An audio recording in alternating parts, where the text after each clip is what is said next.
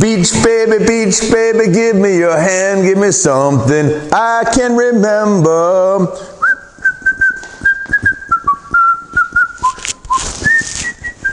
You know, just cruising to the beach on your Honda Express on a sunny summer day.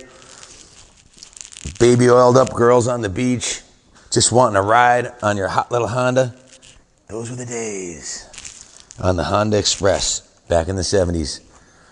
Back to today, 2019, Rockville. The power is out. It's freezing cold. I'm wearing a snowmobile jacket. But this brings me back to the beach, back to the days in the sun. I got a tear in my eye. But uh, this is a Honda Express classic metallic lime green. Can you, can you, can you, can you NC50? Uh, look at the seat on this thing. Black and white vintage seat. Let's see, what year is this thing? 1978. 1978. So it makes it 41 years old. Uh, so, yeah, definitely a cool little bike. It's got the rack on the back. Bulletproof Honda engine. These things will run forever. This thing's been sitting in storage for probably a decade plus, maybe 20 years. I don't know. It has 1,401 miles, which is very low miles.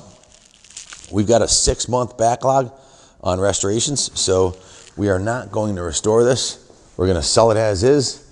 Our loss, your gain. If you want to take this bad boy and restore it, it's definitely an investment quality piece. All vintage Hondas are going up in value quickly. Uh, the tank. Yeah, the tank. Let me get a on my flashlight. I don't, my battery's dead. You got a um. That's all right. It's got a um oil premix oil right here, which it's actually a two-stroke, a little two-stroke oil and uh, gas, and it mixes automatically.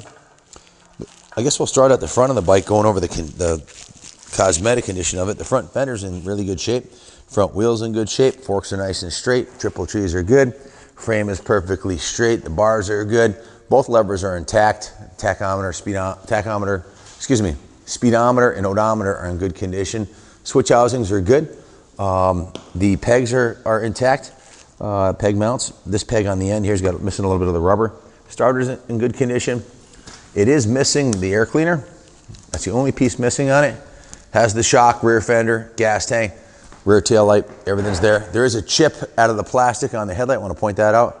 The headlight rim is good, but the nacelle itself has a little chip on a small rip in the, in the, in the seat. But definitely a fantastic parts bike and uh, bring you to the back to the days of the Beach Boys. That's what, what I thought of when I sat on it, but teach their own. Good luck bidding on it. Give us a call, 860-454-7024. You can time the pickup to come to one of our bike nights here starting April 12th. We've got bike nights every Friday night, ride-in movie theater. You can make it to any one of our six three-day events we have coming.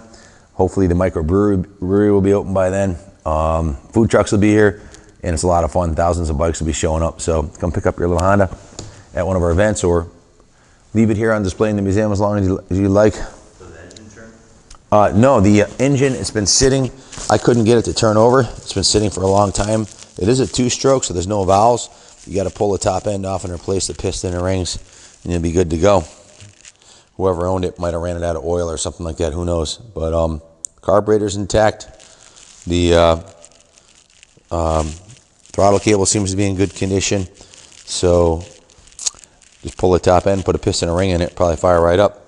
You have any questions, give us a call, 860-454-7024. For the time being, we're going to roll it in the museum, put it on display with the other vintage classic um, scooters and mini bikes that we have there. So good luck bidding on it. God bless America.